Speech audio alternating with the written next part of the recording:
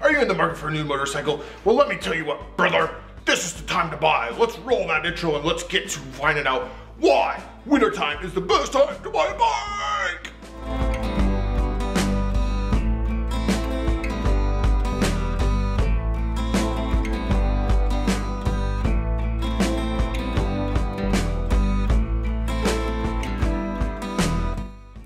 Hey everyone, welcome back to the Chopper Fett Garage. My name's Brett. I don't know who that other guy was, but he is pretty cool in my book. But seriously, guys, for anyone who is looking to buy their first motorcycle, this might be useful information to you. Everyone else who has already bought a motorcycle, they probably already been through this and they already know the tricks of the trade. So I figured today I would just kind of put together a quick little five tip video for buying a motorcycle in the off season. Now, what do I mean by off season. Off season is just simply the time where no one is riding their motorcycle, or at least not nearly as many people. There's salt on the ground, there's snow, it's rainy, it's cold, all the excuses of the world, but we're not riding. So, why is this the best time to buy a motorcycle? Well, let's get into it. Uh, the very first reason is this is the time where people gave riding a chance and decided it was not for them. These are the riders who maybe went through the MSF course, bought themselves a motorcycle, and then realized it's not for them. Well, guess what they're looking to do? They're looking to get out of their $6,000, $7,000 hole that they put themselves into and try to recoup some of those losses. Now, if they're realistic, they'll know that they're not going to get back probably everything that they bought because they probably bought it in peak riding season, which means they overpaid for their motorcycle. So this is where you need to look at all your sources. You need to look at Instagram, Facebook Marketplace, Craigslist, everywhere that has a for sale, you need to be exploring. I always like to explore the private parties because you can usually get a little bit better deal from them than you can from the dealer. All right, now speaking of dealers, if you are the type who does want to go out and buy a brand new Harley Davidson or whatever motorcycle you may ride, this might be the time of year to try and wiggle a deal. Because guess what? As I'm filming this right now, Harley Davidson is launching their 2021s. Which means if you were to go into your dealership and they have any 2020s left, they may be willing to make a deal with you.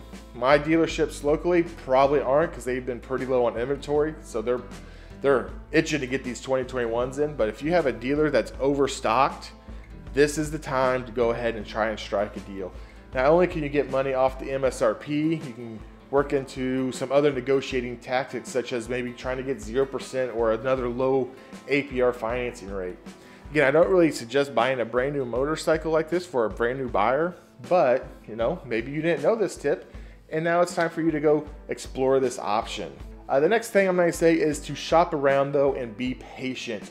You don't need to jump at the very first opportunity that arises. Now, I'm not saying don't because that could be the deal of the century and you don't want to kick yourself on, but keep in mind winter is a long season. Around here, probably about four or five months is non riding season, and six to seven of it is actual riding season.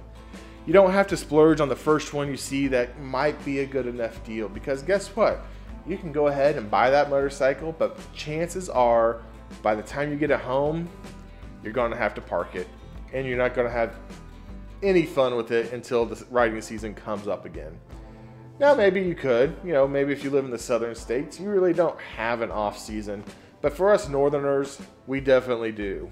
Now, one thing to keep in mind though is there is going to be some risk involved when purchasing a motorcycle, especially if you're buying a used motorcycle from a private party some people are really trying to unload or get rid of their motorcycles and they would generally throw these up for very very cheap prices. So if you see a deal that's too good to be true chances are it is. But that's where getting a motorcycle history from the previous owner is key.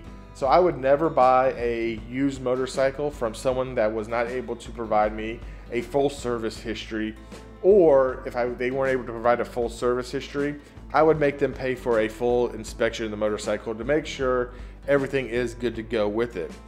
The worst thing you'd want to do is go find that 2009 Dyna, pay $2,000 for it, scream to everyone, I got the best deal in the world, only for it to be a dud. Now, actually, if you find a $2,000 Dyna, it's probably a good deal, even if it is busted and everything, because these parts are a dime a dozen. You can rebuild it. But again, I don't recommend that for your first purchase. Uh, but again, make sure everything that you are looking into is legit. Um, take a friend with you if you're going to go private. I, I, can't recommend that enough because one, you might not know how to ride a motorcycle, and if their dealer or third party is allowing you to test ride it, maybe your friend does know how to ride and he could test ride it for you. Uh, my friend Woody test rode my bike for me uh, when I got mine because I bought mine in off season.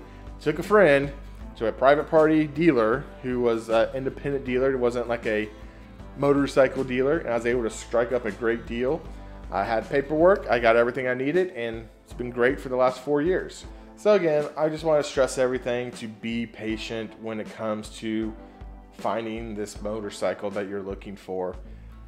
Know what you want when you go looking, know what to look for, get on the forums, get on Instagram, get on Facebook Find what's wrong with motorcycles in general to begin with. What causes the oil to leak? Is the, the is an alloy better than a spoke rim? Are T-bars and everything a trend that's going away? No, you don't need to worry about that. That's personal. But um, seriously though, just be patient with everything. You don't have to rush this process, and I highly recommend you don't. Uh, so go ahead and post your tips for buying in the off season below. I'd be glad to hear them and possibly include these into another video as well. Uh, with that being said though, my name again is Brett. This is the Chopper Fett Studios, Garage, whatever you want to call it.